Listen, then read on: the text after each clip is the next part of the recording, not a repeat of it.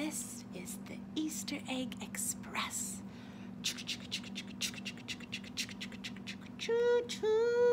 It's by Anne Moosenbrock.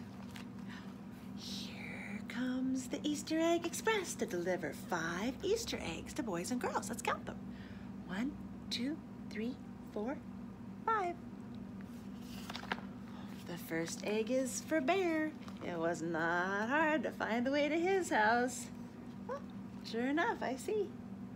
There's Bear. The second egg is for Duck. The train crosses the lake and continues.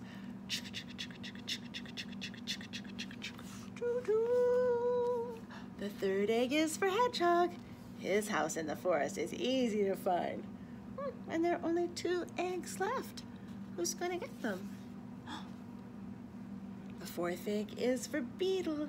Rabbit must climb a tree to reach her beautiful balloon. There's only one egg left. The fifth egg is for Squirrel. It's getting late. This is the last delivery. Hmm. Duck, Hedgehog, Beetle, and Squirrel all say thank you for the colorful eggs and give Rabbit a basket of delicious carrots. Have fun with the Easter celebration. That is the end of the Easter Egg Express. And that visiting friends, you know, I think that would be a wonderful way to celebrate Easter.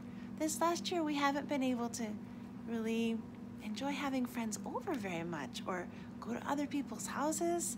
But if you have a chance to maybe meet up with a friend, it doesn't have to be a big group, it doesn't even have to be inside.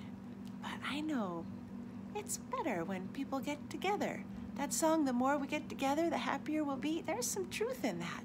So I hope that you have a chance to be with somebody you care about.